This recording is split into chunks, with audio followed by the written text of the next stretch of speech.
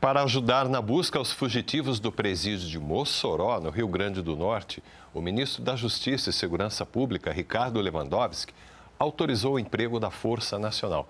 Serão enviados 100 homens e 20 viaturas para a região.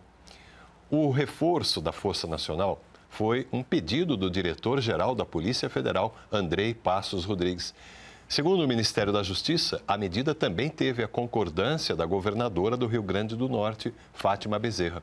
O efetivo da Força Nacional vai se somar aos cerca de 500 agentes da Polícia Federal, Polícia Rodoviária Federal e das forças locais que atuam na operação de recaptura dos detentos.